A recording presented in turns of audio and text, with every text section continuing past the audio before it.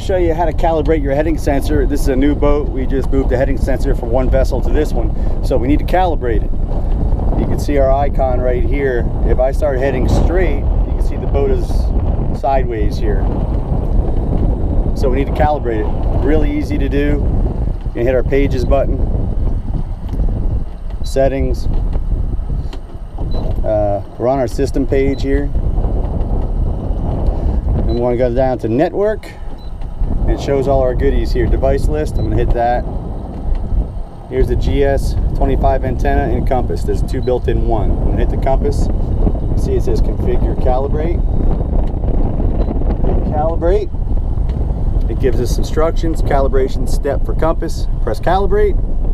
Start rotating the vessel, complete a 390 degree rotation in 130 to 190 seconds. It says try to maintain a rate of turn of 2 to 3 degrees. It'll actually help us. It'll show us what our rate is here. So I'm going to get the boat moving first.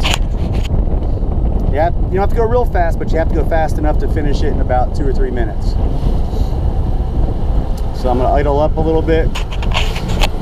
My rate of turn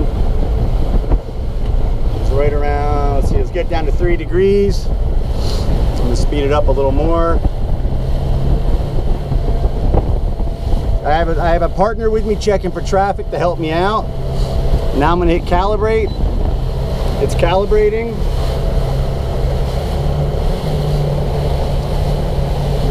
I just need to keep it here between 2.5 and 3.5.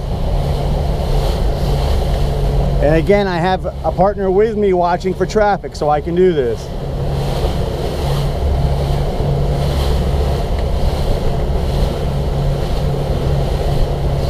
It's a little windy today. It's a little tough to do, but it's pretty important to have a proper working heading sensor.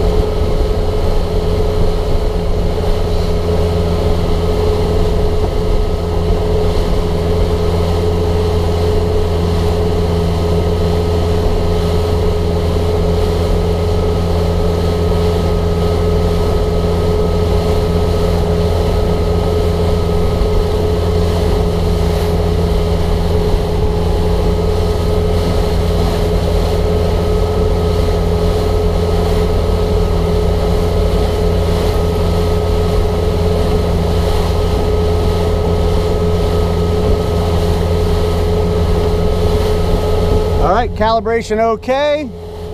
We're, we're finished. Now when we X out, go to our chart, we look nice and straight now. You see it's a very easy process. If you could do it on a lake, on a calm day, that's probably the best. If not, hit the backwater when no one's out there. Make sure you have a partner spotting for you so you don't hit somebody. That's it. Stay safe on the water and leave a few for me.